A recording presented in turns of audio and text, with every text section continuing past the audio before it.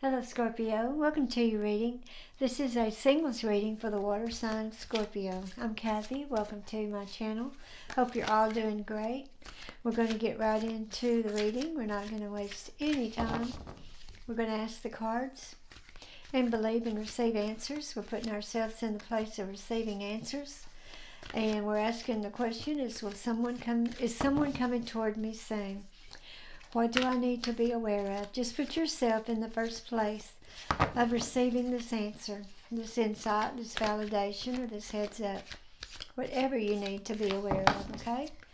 And we'll get right into the reading. We're going to go cut. And we're going to see what we have for you.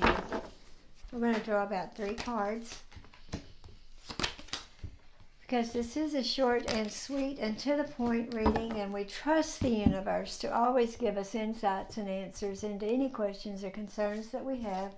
And we know that the universe is always out to do us good and help us okay? So that's a good attitude to have isn't it?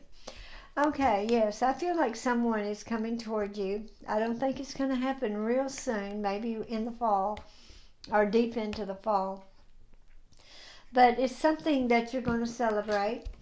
I think they're among your friends. They could also be co-workers, but you know, co-workers are usually like family or friends a lot of times. Um, I feel like you're just going to have to be patient, but I do feel like it's going to be someone from your friends group or your co-worker friends group. It's someone that you're able to get along with and work with, and uh, you're you're able to talk with this person or will be or already are, you'll be able to talk with this person about just about any interest that you have, and they're going to be open minded and open to it, and they're going to be good listeners, as uh, so are you.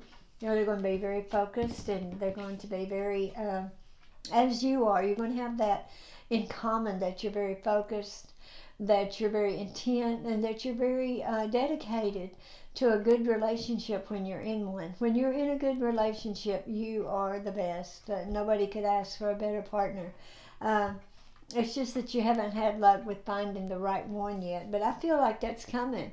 You've been patient. You've done a lot of self work. You've done a lot of, you know, when I became I became single uh, for the first time since being 17.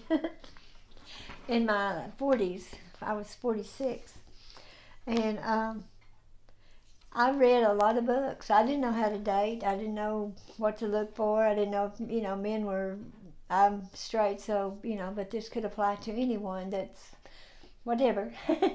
we love everyone. Um, but I didn't know how older men were with dating. You know, I had only dated since I was a teenager. So uh, I read the books. I read um, the rules.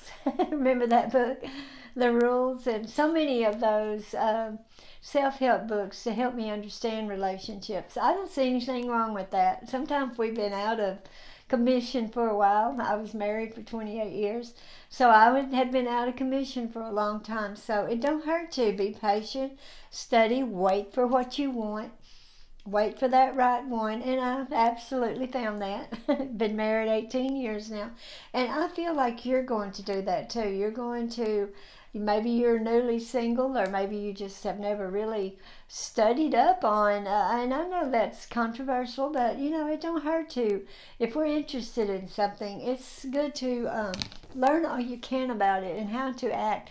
And i realized after reading some of those books and there's several and i can't think of all the names of them um, all the things that I was doing wrong in a relationship, you know.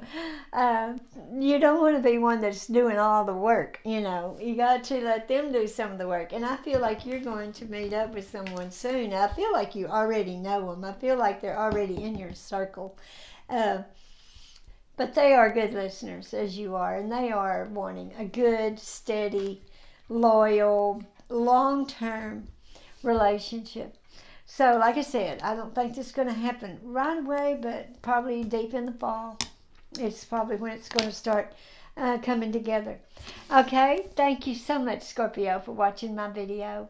Appreciate y'all so much. And until the next video, bye-bye.